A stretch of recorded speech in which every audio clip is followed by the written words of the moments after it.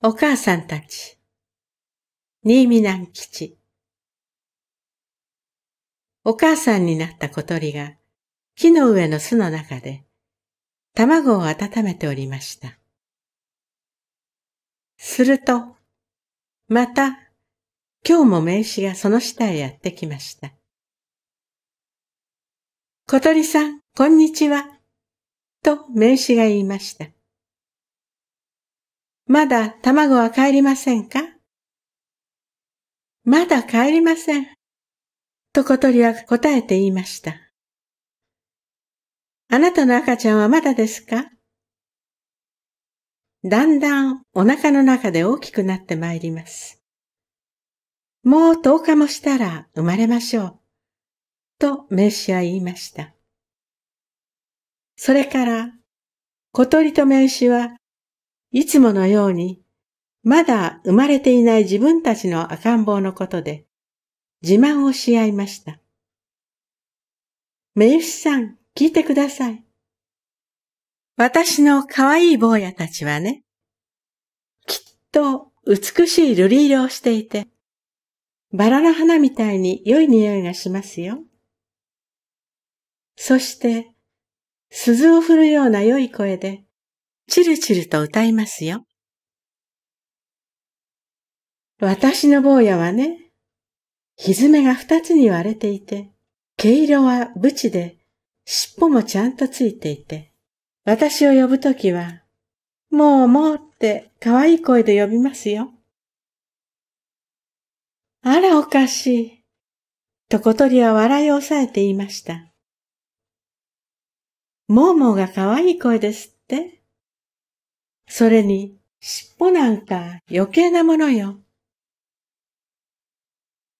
何をおっしゃるのですか？と名刺も負けずに言いました。尻尾が余計なものなら、くちばしなんかも余計なものよ。こんな風に話をしていたら、おしまいには喧嘩になってしまいましょう。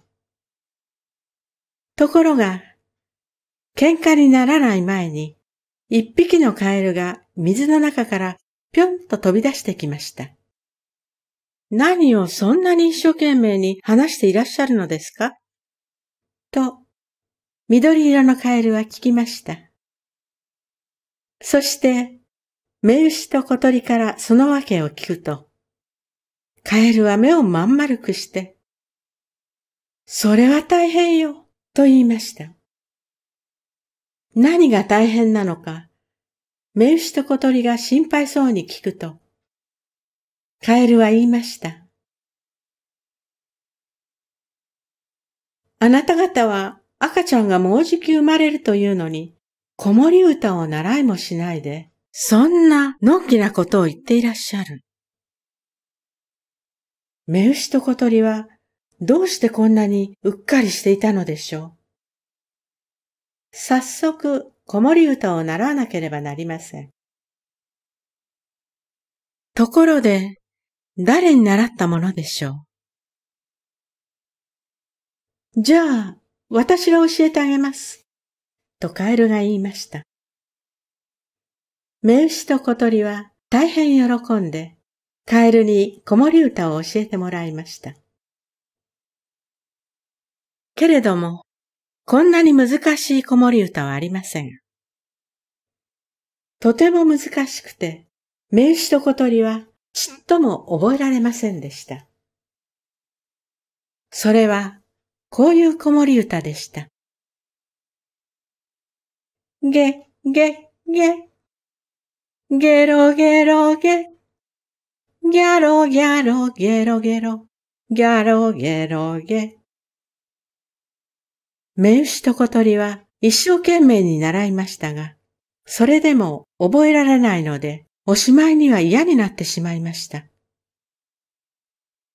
けれど、カエルが子守歌を知らないで、どうして赤ん坊が育てられましょう、と言いますので、また元気を出して、げ、げ、げ、と習うのでした。そして、それは夕方、風が涼しくなる頃まで続きました。